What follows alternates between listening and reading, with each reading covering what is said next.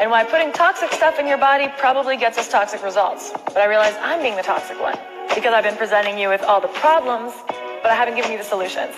So I'm very excited to tell you guys and announce that I am now officially a doTERRA